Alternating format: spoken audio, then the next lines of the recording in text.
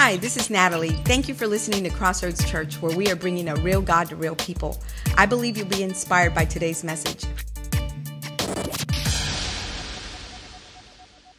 Today we begin a series entitled uh, Why the Church Just Wants Your Money. So turn to your neighbor and say, Why does the church want my money? A teacher comes up to little Johnny and goes, Little Johnny, if you have a dollar and you go and ask your dad for another dollar plus 50 cents, how much are you going to have? And little Johnny looks at her and he goes, A dollar. And she shakes her head and goes, Little Johnny, you don't know your basic math. And little Johnny turns back to her and goes, Miss Teacher, you don't know my daddy. no, I don't know little Johnny's daddy, but I do know my Heavenly Father. My Heavenly Father is more focused on your generosity than He is your currency. He's more concerned about your health spiritually than He is about your monetary wealth.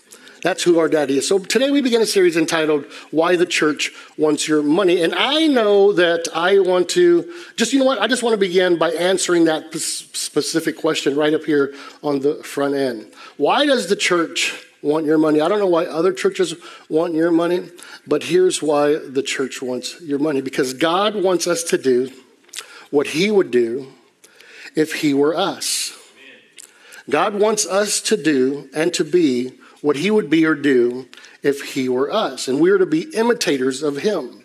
And so we are to be the solution to some of the problems that we find here on this earth. So this morning, um, we're going to take a look at the brother of Jesus, a guy by the name of James.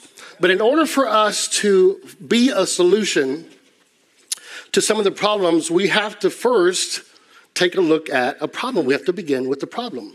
A few days ago, I was looking for a snack. And I was looking for a container that looked something like this. Uh, but there was one missing. Um, these are like blueberry muffins and stuff. And there was one missing. But I knew I still had three more to go. And I was uh, going to the kitchen looking for it because we always put it in a certain area. And I couldn't find it. I was like, man, there's no way. Hayden doesn't eat sweets. And Natalie doesn't eat a whole lot of sweets. But Natalie does have a tendency to hide stuff in the name of, I'm saving it. And so I'm looking for it. I'm like, man, she's stashing this thing away from me or something. I'm, I'm looking around. And sure enough, I find it on top of our oven in a cabinet that has no business being way up there. As a matter of fact, she can barely reach that thing. So I find it and I pull it out, but I had a problem. I looked at it and there was a whole bunch of hairs on those muffins.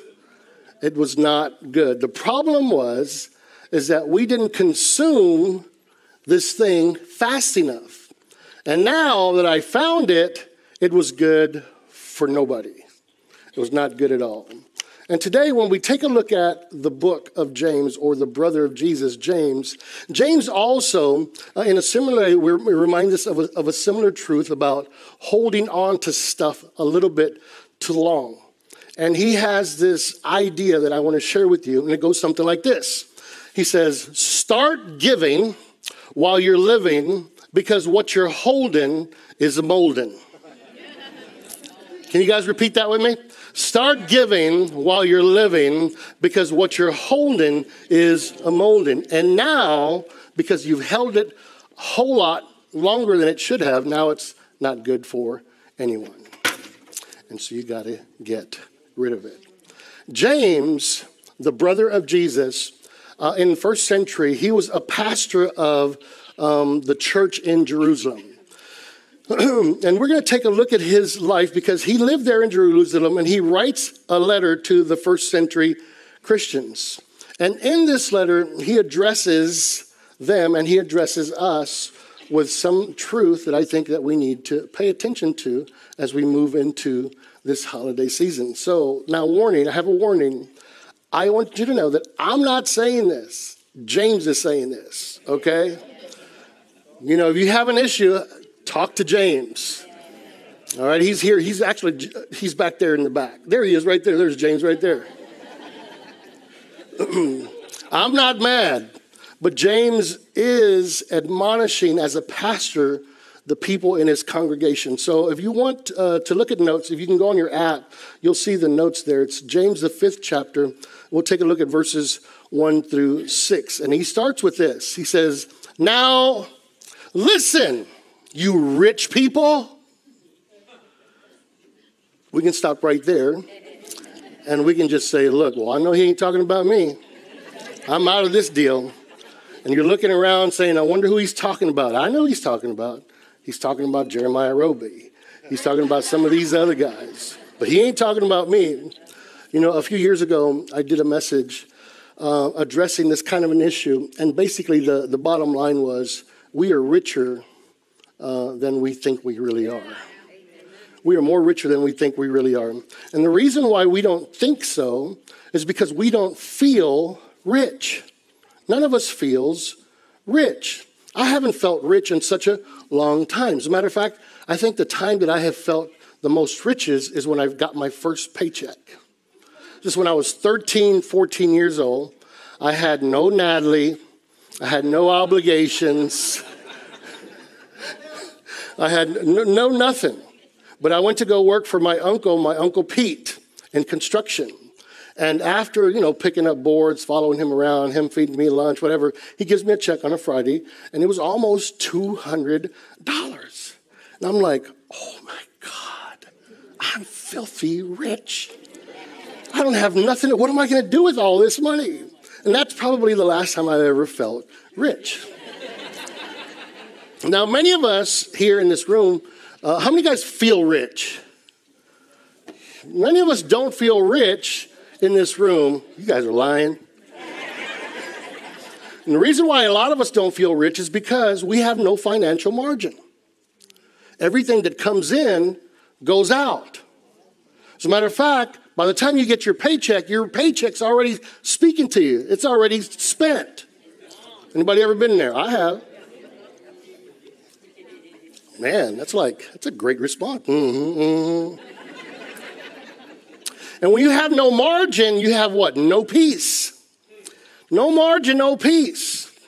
Many of us have earned the most we've ever made in our entire life, yet we're still under financial pressure because we have no margin. Another reason why we don't uh, feel rich is because we can see what everybody wears. We can see what everybody drives. We can see where everybody lives. We have this thing called social media and Instagram and Facebook and all this stuff. is like, and you're looking and you're scrolling. It's like, man, I wish I could, I could take all those trips like Pastor Joel. I wish I could have a car like that. And so we're not careful. Next thing you know, as we're scrolling, we become a little bit envious. We want what they got. And it never, it never stops, right? We fall into this trap. It's called a comparison trap. And it's never, ever fair when you begin to compare. But here's the truth about uh, being rich. By international standards, here's the stats. If you have a household income of $33,000, you are in what they call the 1% club. If you make $33,000 a year, you are in the top 1% of the people, not in this country, but in the world. You might not feel rich, but you are. Now, no one ever cheers about that. Honey, we made the, we're in the 1% club. we finally made it, right? and listen, I just want to preface this that the goal here is not to make you feel guilty, but to make you feel more responsible. Because that's the idea. Is that we have a responsibility. But the truth about it is this there are millions and millions of people who think you are filthy, filthy rich. Back to James. First century thinking. First century thinking, the idea back then was if you were blessed, if you were rich, God's favor was upon you. God was happy with you. God was uh, pleased with you. You were God's favorite. But if you were poor or sick, God didn't love you very much. But that's leftovers. That's Old Testament thinking. The New Testament thinking, the truth is this rich people aren't more loved, but rich people are more responsible. Why? Because we have more opportunities to do uh, the things that God wants us to do because He has blessed us. We're more accountable to do more. We're more accountable to love more. We're uh, more accountable to serve more, to give more, to share more. Why? Because we have more opportunities. So James goes on, he goes, Now listen, you rich people, weep and wail because of the miseries that are coming upon you. And James is saying, he goes, Hey, listen, you think you have a future and a secure future because you're rich, but he's saying your future is not as secure as you think. You know, a lot of, a lot of us think that rich people never have anything to worry about. Why? Because they have all this money, they have this extra, they have IRAs, they have insurance, they have retirement, etc. But James also knew that the more you have, he's smart. James also knew, he was the brother of Jesus. But he also knew that the more you have, the more you worry. The more you have, the more anxiety that comes upon you. Because folks that have some and more, they're like, man, that's not enough. What if the stock market crashes? What if uh, uh, inflation continues to go up? What if my wife leaves and takes everything and gives it to some other knucklehead? What if my you know husband leaves? What if I get sick? What if all this stuff happens? We don't mean to do this, but uh, uh, um, little by little we, we, we drift that way and we become anxious and we become more worried. And the rich man's mistake, if you want to know what your mistake is, rich people. you want to know what a rich man's mistake is, the rich man's mistake is this, is this, is that they put their trust in riches. They put their trust in wealth rather than the one who richly provides. I've done this before. All of a sudden, I get a lump sum of money, and I'm like, I don't care about anything. Income tax comes, $7,000, $8,000, $10,000. I'm like, I don't have to worry about anything. But then when it's all gone, Jesus. Poor people, they don't do this. Why? Because they don't have anything. So James goes on to say, he says, Your wealth has rotted, and moths have eaten your clothes. Okay, let me just say this. James, he's pretty black and white, okay? He's basically taken his congregation and he's taking them behind a shed and just kind of spanking them. And that's not how I want this to come across, but if it comes across that way, that's okay. Just listen to that. He's admonishing his congregation. He goes, The moths have eaten your clothes, and your gold and your silver are corroded. Come on, James, chill out a little bit. In other words, he's saying, Man, you've got so much stuff, you've got so much clothes, you can't even wear it all. If you go into your closet, there's all kinds of clothes with tags still on it. There's stuff in there that you wish one day you could wear, but you're waiting for you yourself to lose 10 pounds. I've got stuff in there. Man, I don't wear size 32 pants anymore. They've been there for 15 years. I finally was like, man, let's get rid of these things. Let's give them to some skinny people. He says, so much gold and silver, it's now beginning to tarnish. It's now beginning to rot. It's beginning to chip away because they're not meant to last for eternity. Your wealth, he says, is rotting, and now it's not any good for anything or anybody. That's what he says. Anybody ever have um, in your house or in your office? I got a couple of them. Uh, what they call a junk drawer or you call it the save it for later drawer. The other day I was opening up the drawer here at the office and uh, I noticed that there was two, two iPhones in there. I'm like, I don't know how long they've been in there. It's like, what am I doing with this stuff? I looked in Natalie's closet. Don't tell her I said that. She's not here. She's actually in the other room. She'll find out, I'm sure. I looked in her closet. She's got a bunch of boxes everywhere and I opened up a box, and it's an old Palm Pilot. You remember? Anybody remember those? It's like it was, had the stylus and everything. It was like really cool. But I started thinking, it's like, man, the point is, I could have sold that stuff, or I could have just given it away, or sold it and got the money and blessed somebody with it. But instead, I decided to hold on to it in the name of I'll need it one day. Anybody ever do that? If you go into your garage, it's like No, I got to hold on to that bolt. I got to hold on to that because one day I'm to need that extra trash can or extra blower or whatever it is. The other day I was seeding my the grass and the thing messed up. The thing, the propeller thing messed up. And I'm thinking, it's like, why am I, why do I keep messing with this thing? And I was like, but I'll, I'll make it work one day. And I started thinking, because I was prepping for this message. So I grabbed it and I chunked it. It's like, good for you. Actually, I need to get it out of the trash because I could easily fix it and give it to you guys. If you're looking for a weed feeder thing, just call me. I'll get you one, okay? I'll fix it. But James is basically saying the issue is this it's not what comes in, the issue is what stacks up. What's stacking up? It's not what's coming in. And James continues to hammer them, and he hammers us, and he just kind of opens up our eyes to see some things. He goes, Their corrosion will testify against you. The corrosion he's talking about is the stuff that you're holding on to, that you're being irresponsible with, that's going to, you know, weaken its value. It's becoming less and less valuable. He goes, that's what he's called corrosion. It's going to testify against you. He goes, we think we're being responsible by holding on to it, but one day what we thought was good by saving it is going to now testify against us. Is what he's saying. Their corrosion will testify against you and eat your flesh like fire. Like, chill out, James. um, that's common God's judgment type of language in the Old Testament and the New Testament as well, but it's pretty much judgment of God type of language.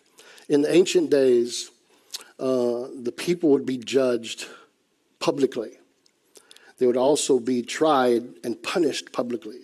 A lot of times, um, they were violently, you know, beaten and uh, bruised and sometimes put to death publicly. But James believed that one day God would hold you and I accountable uh, for mishandling the stuff that He provided for us. Isn't that the truth? Today, most people don't believe that God has a firm hand. Most people don't believe that God punishes anyone. You know, we live in this everyone gets a trophy generation. Everything is just, you know, God is love and He is love and He's compassionate and He's kind and He's merciful. But there is also something called accountability. And there is also something called afterlife. James believed that this life was not the only thing that we needed to focus on, that there is something that's going to happen after this life, after we leave this earth. Why did he believe that? Because he saw his own brother get crucified on that cross. They buried him in a grave, and three days later, he saw him again. And he spoke truth to him again and he saw him get lifted up and leave this earth into heaven. So if anyone believed in afterlife, it would be James, the brother of Jesus. He saw him get up, get up, get up out of that grave.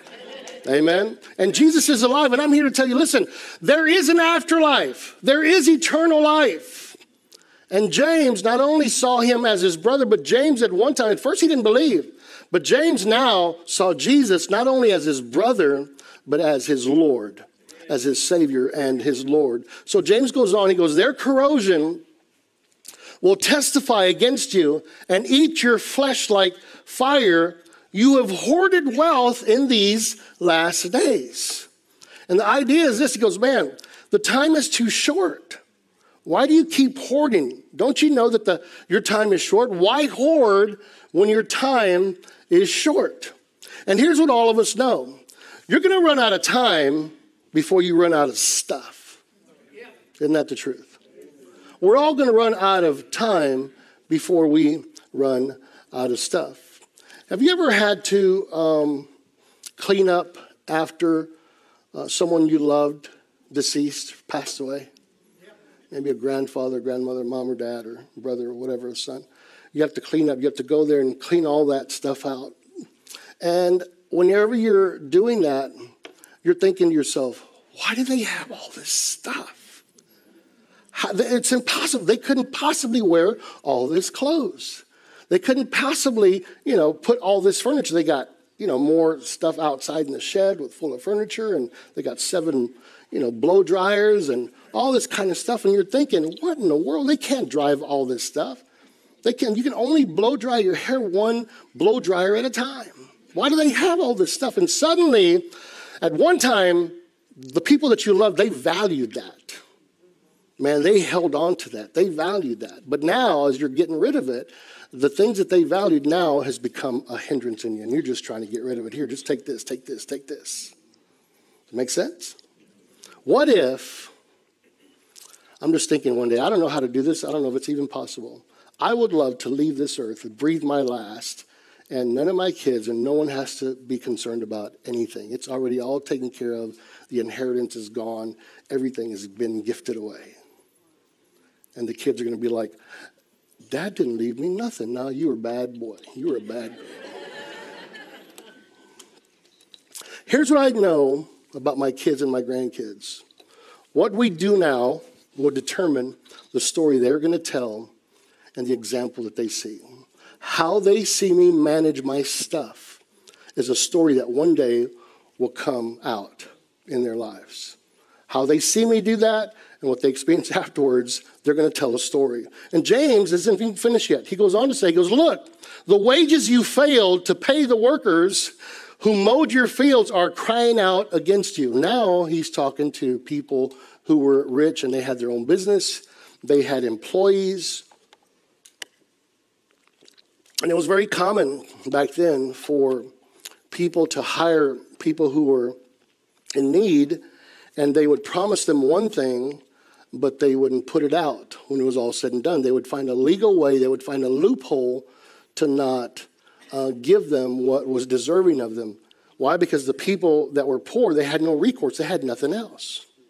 And so he's telling them, he goes, The cries of the harvesters have reached the ears of the Lord Almighty.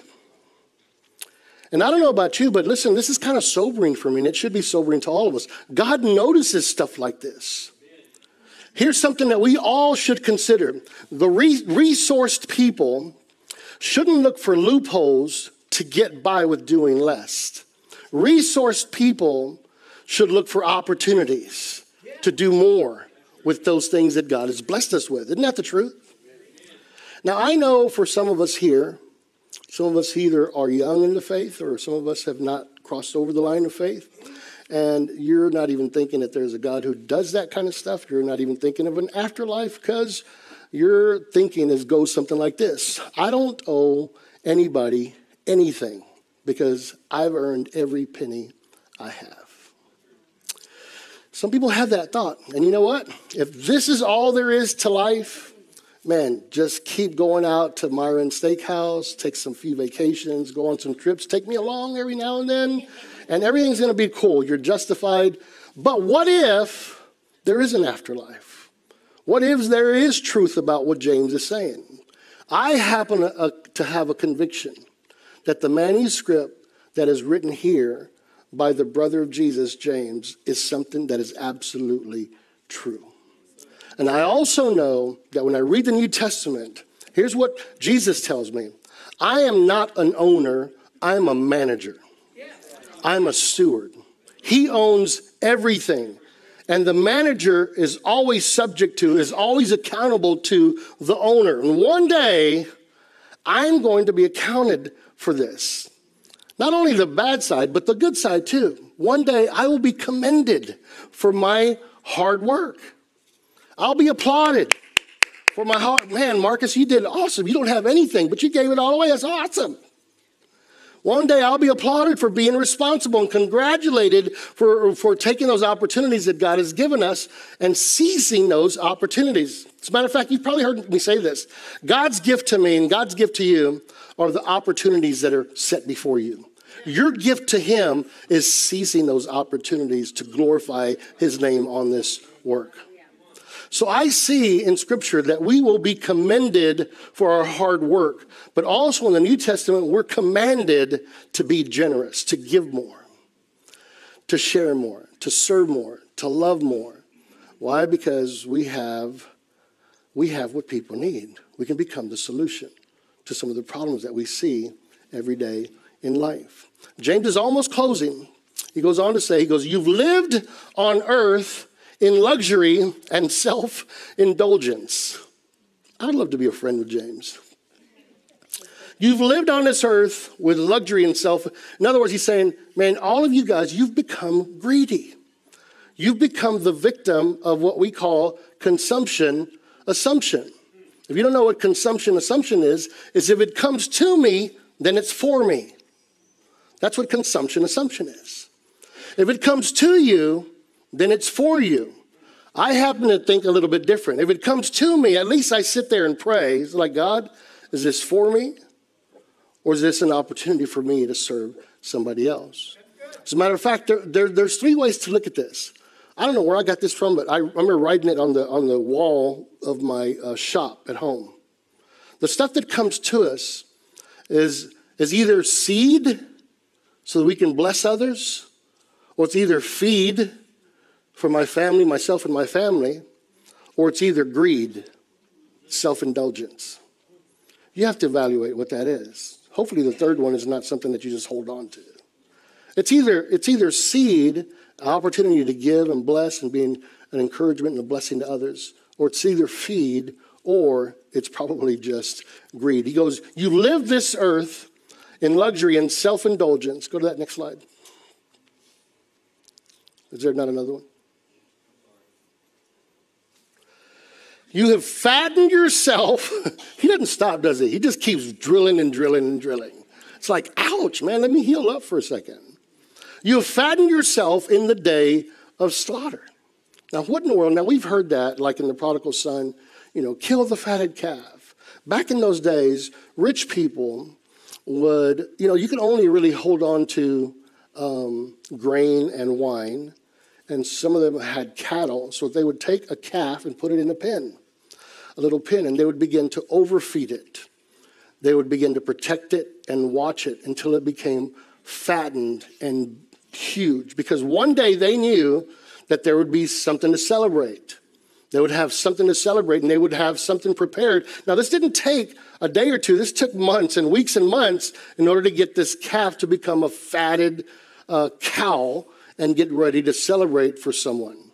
So, what James is saying right here, he goes, listen, for us, we don't have to plan ahead. We don't have to plan for months. Man, if somebody, there's a celebration that goes on in our lives, hey, let's order some uh, barbecue from, you know, HEB or Davila's. And it can come within an hour or two. Or let's just get a turkey from Amazon or whatever it is. We don't have to wait months and months and weeks and weeks to prepare ourselves for that. And James is saying, he goes, You have fattened yourselves in the day of slaughter. In other words, he's saying, rich people, you think you're planning way, way ahead and being responsible and being aware of what should be coming or what's going to be coming up ahead, but you're actually planning for your own embarrassment. You're actually planning you're preparing, you yourself are becoming um, a fattened calf for the day of slaughter. Now, here, let me give you some historical truth. Here's the truth about uh, James. A few years later, after he writes this, James was martyred. He was uh, martyred by he, a high priest, actually put him uh, to death illegally because they were tired of him talking about his brother, Jesus. They were switching out governors and what have you. And in that uh, transition, they killed James illegally. Seven years after his death, the rich people that he was addressing found themselves trapped by the Romans. They were murdered, they were enslaved, many of them died of diseases, and all of their wealth that he was addressing was carted off back to Rome. That's history. You don't see that in the New Testament, but you do see it in a book where Josephus writes about what took place. Seven years later, after uh, this takes place. So, the moral of this whole passage what's the moral of it? you better give while the giving is good. Or we can say it like we said it earlier start giving while you're living because what you're holding is a molding. If you are ever in the Seguin area, come visit us on Sunday mornings at 9 or 11 a.m. Or you can just download our app and receive our weekly messages right to your phone. Just text CC Seguin to 77977 and click on the link that you receive. May the remainder of your week be enriched with God's favor and blessings.